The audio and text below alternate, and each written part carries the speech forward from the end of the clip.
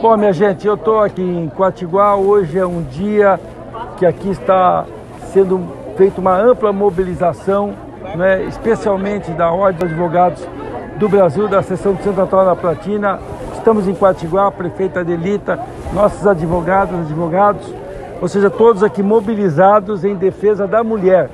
Combater a violência da mulher é uma questão absolutamente fundamental em Quatiguá, no Norte Pioneiro, em nosso, em nosso estado. Nós temos inclusive uma mobilização hoje que é estadual, é, justamente para que nós possamos né, sair é, dessas estatísticas que envergonham a todos nós. Porque o Paraná está em terceiro lugar nacional de violência contra a mulher. O feminicídio é indiscutivelmente um tema que está posto e que tem que ser muito trabalhado para poder ser evitado.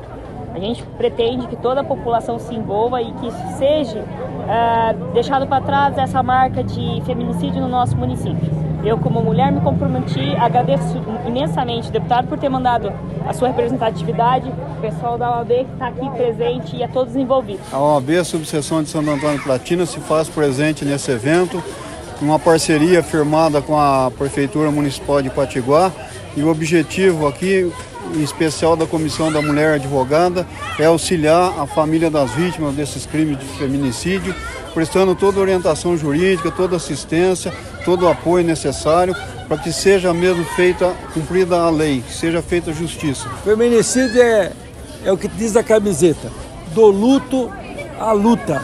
É mobilização que vai evitar novas mortes.